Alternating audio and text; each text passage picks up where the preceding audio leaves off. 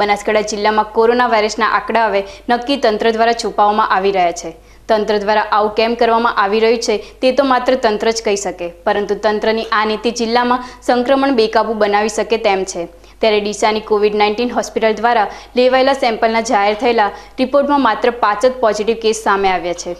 જેમાં ડીસામાંથી માત્ર બે જ પોઝિટિવ કેસ સામે આવ્યા છે. જ્યારે વાવ, બાબર અને થરાદમાંથી એક એક પોઝિટિવ કેસ સામે આવ્યો છે. તો એક નજર કરીએ નવા કોરોના પોઝિટિવ કેસોની સંખ્યા પર.